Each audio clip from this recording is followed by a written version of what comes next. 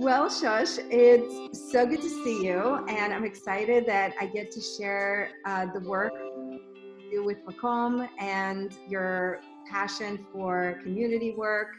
Um, I just want to start by sharing how we met.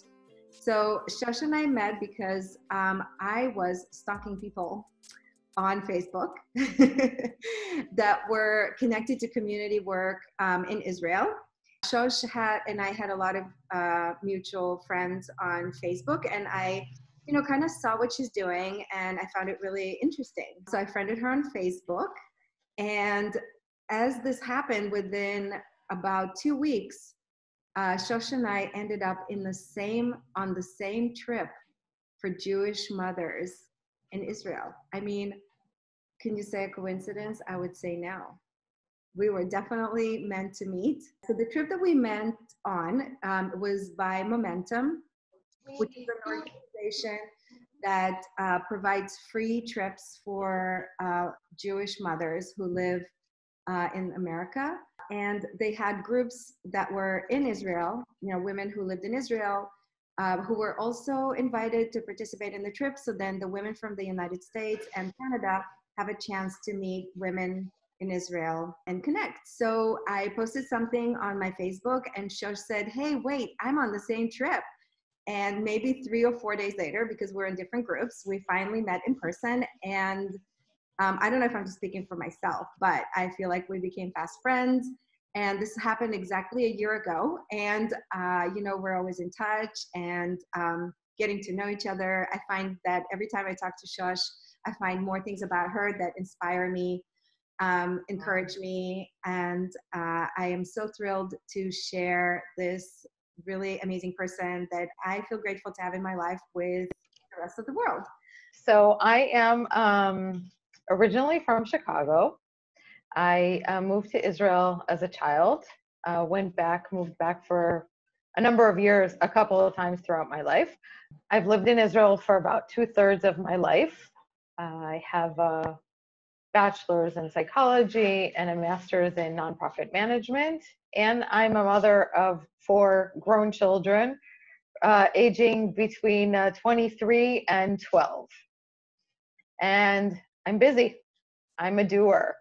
I'm always doing something. I'm always busy juggling a couple of things uh, at the same time. And I just uh, basically do not stop. Why don't we start with what inspires you about Makom communities? I uh, became involved with Makom Communities about three years ago. And um, Makom Communities is uh, a nonprofit organization here in Israel, which uh, basically serves as a network of communities uh, throughout Israel. We're talking about over 200 communities. And what is unique about this network is that each of these communities is very different from the other. These communities are very uh, diversified. Um, we have uh, religious communities, we have very uh, secular communities, Ethiopian communities, um, Druze communities, uh, educators communities, artists communities, a, a wide uh, range of um, different types of communities. And what is so special about these communities and why they all belong to the same network is because these are communities of people that have chosen to be doers, involved in society, and really taking care of the needs of the people living in their surrounding areas.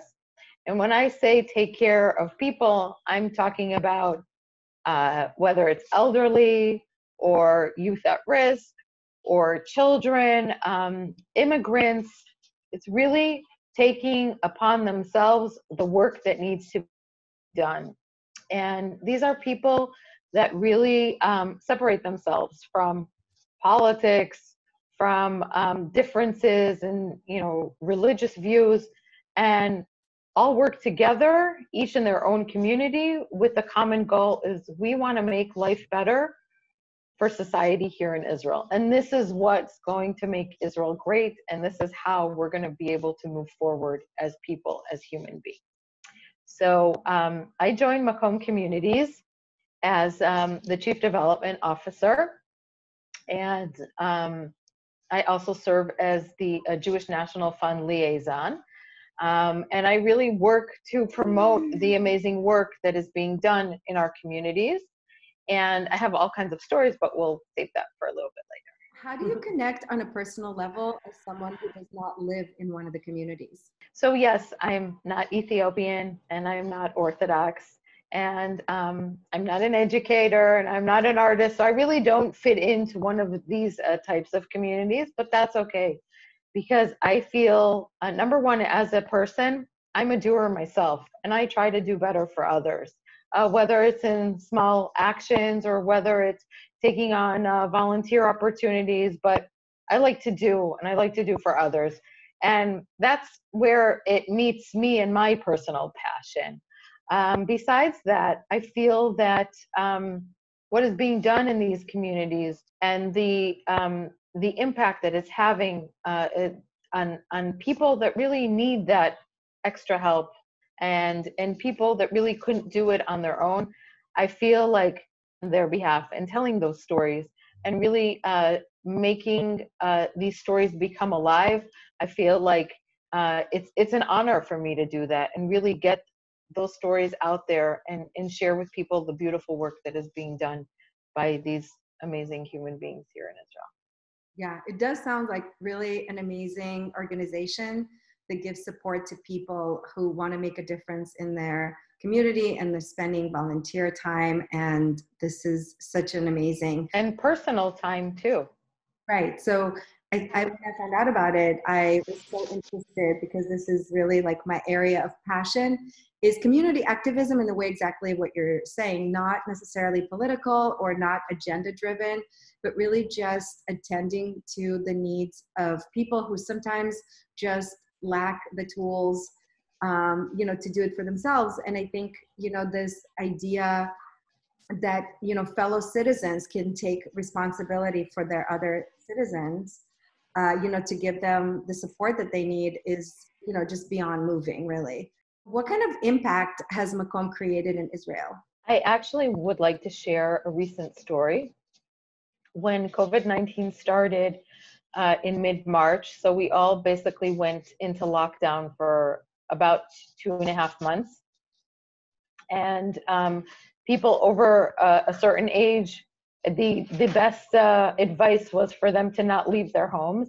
But people got stranded at homes. They needed groceries, you know they needed medications whatever it was and um, quite quickly within days of the initial lockdown people from these communities uh, realized that it's our job to take care of our neighbors um, people that we don't know living uh, in our towns and cities and just make sure that everyone is taken care of and um, in one of the cities called uh, Arad, which is uh, down south near the Dead Sea. Um, one Friday afternoon, um, I, it was actually um, I was you know someone called to to share with me this voice message. Um, an older woman, she was about um, 67. She was um she was an immigrant from Russia. She maybe lived here in Israel for about 12 or 15 years, and she was high risk. And uh, she knew that she couldn't leave her home and she didn't know what to do. It was Friday afternoon, and she uh, needed to go grocery shopping, and and she couldn't. And there was a knock on her door, and people came with packaged, uh, ready-made food um, in these uh, disposable containers, and basically uh, gave her food for the weekend. And she was so touched. She said, "But I didn't make any phone calls. I, I didn't ask anyone to do this." And basically, it was people in the building that were checking up on each other, realizing that she couldn't leave her home, and went above and beyond and made sure that she had food for the weekend. And then, of course, they followed up and they picked up groceries for her the, the, the next week. But this is a wonderful example of how relevant the work that we do. It's not just running afternoon programs or you know summer camps which of course these are things that need to be done but it's really knowing how to shift in times of need and turning this, these needs into something that you know within hours or days people can really you know take upon themselves and move forward and these sort of things were happening all over Israel doing during these two and a half months, and it was beautiful to see um, just in each and every city. These these were like the first responders. These were the ones who took the initiatives and made sure that everyone was taken care of. And if it wasn't them personally, they made sure that someone else did. And it was really this uh, team effort that all of the members of the communities took upon themselves to work together and make sure that everyone had what they needed. As an American Israeli, why live in Israel when you can live in the US? That's a good question. And I get asked a lot about um, I'm American, I have citizenship. Why shouldn't I live in Israel? And don't get me wrong, um, I love America. I love Americans. I love American food. Um, and I love visiting in America. But I feel that my life has so much more meaning here in Israel. I can do so much more with um, with with with the needs that are being done. I feel like I can live a comfortable life in the United States but it's not going to be the same and it's not going to be as meaningful as it is um, as it is here. So i go and i visit. What message do you want to bring on behalf of the people living in Makom communities? I think that the greatest message that the people living in our um, it's actually 239 Makom communities all across israel is that if we put our differences aside and focus on what we have in common and what we can do together and work together as human beings, we will make this place better for future generations. And um, it's so important to learn not only just to cooperate, but to really connect with other people, even though they're not the same and even though we don't have the same beliefs, but really focus on, on what we can do together and that is um, make society better. That's an amazing message. Definitely resonates with me. So, can you share with me a favorite Jewish quote? Hmm. So, Jewish, um, I'd say that my favorite is "Love thy neighbor as myself." Um, it's not only mine, but it also connects beautifully with um, our Makom communities is that it's really uh, looking around you and seeing the people and not saying, oh, he, she is, isn't. It's saying, wow, this is someone so different. Let's see how we can connect and let's see what we can do together. And um, I guess um, I, you know, personally, I try not to judge people. I know people are carrying different baggage with them for for different reasons and i'm you know who, who am i to judge but uh, really um, really try to just you know love people as human beings as good people as they are and i feel that the love that we can spread is um, something that especially during these times we need so much worldwide well, Shosh, I wanted to thank you so much for sharing your passion. Um, I do have to say that I feel very honored and to have you in my life. I feel like you know you always uplift me and give me so much inspiration of how somebody could really do so much by uh, doing their best.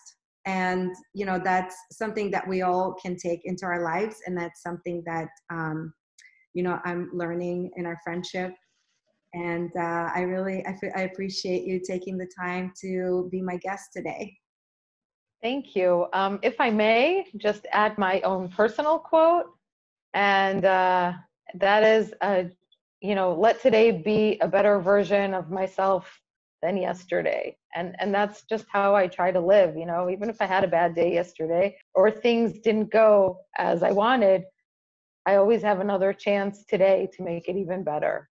And i think if we all try to do that do more and help more and love more this world will be a much better place absolutely and it, it i definitely feel that you are contributing to that to that uh, formula. But i'm only one person and that's why it's so important that so many of us try and do that. Absolutely. Well thank you so much.